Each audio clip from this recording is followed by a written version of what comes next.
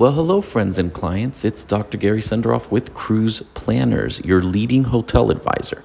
So, you're in Oslo and you want to leave early in the morning, but you don't want to really wake up at 2 or 3 a.m. When you have an early morning flight, the Radisson Blu is really a great option. It is directly across the airport. It's the only one that's there that you don't have to take a shuttle. When you walk out, you walk over to the right, cross the street, literally, you're in the lobby in like three or four minutes. There's this little tunnel kind of thing that you go through in order to reach the lobby. And then, of course, you have your front desk. Sometimes there's a little bit of a line, but hopefully that won't happen with you. And by the way, when you're ready to book your Radisson Blu Hotel, let me know because I often get private rates that you cannot get with anybody else.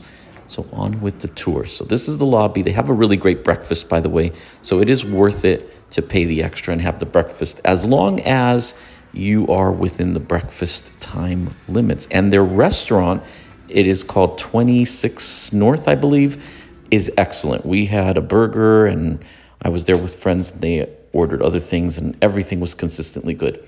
So let's take a look at the room. I got an airport runway view. I believe it's either a deluxe or a superior, but it's the one that has the airport runway view.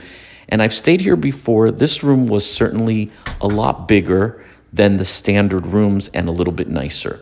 So it was on a corner. The only problem is if you really truly want an airport runway view, this particular corner room doesn't really have a great view of the runway.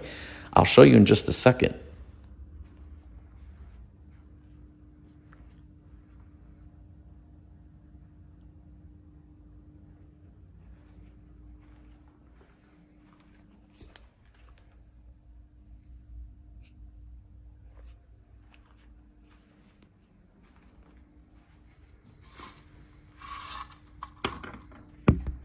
So I look outside and here's the view of the runway. I don't really see any airplanes taking off and landing much. So I thought surely the other window must have a better view. Let's go have a look. And as you'll see in just a minute, the view is no airport view basically, except for the airport itself, but no runway view, that's for sure.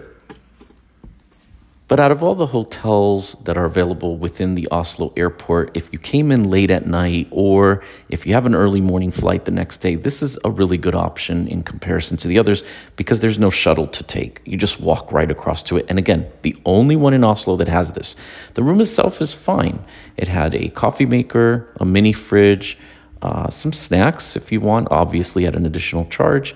And, you know, it's certainly not a luxurious hotel by any stretch of the imagination, but it is decent and does the trick uh, for the night. And if you're forced to stay here for whatever reason, the train is really adjacent to the hotel, super easy to get into the center of Oslo, and then you could come back, which is also really nice.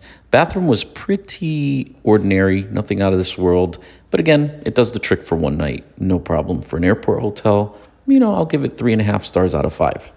But let me know in the comments have you stayed here? Will you stay here? You know, I'm one of the leading polar advisors for expeditions, and this is a really good accessible hotel when you have a charter in and out of Oslo. That's the only reason I stayed here.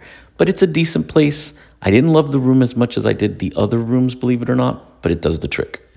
Don't forget to watch some of my other travel videos. You'll see a lot of expeditions into the real cold, icy parts of the world. And don't forget to subscribe. Thanks for watching. For the best value on your next vacation, email me at gari.senderoff at cruiseplanners.com.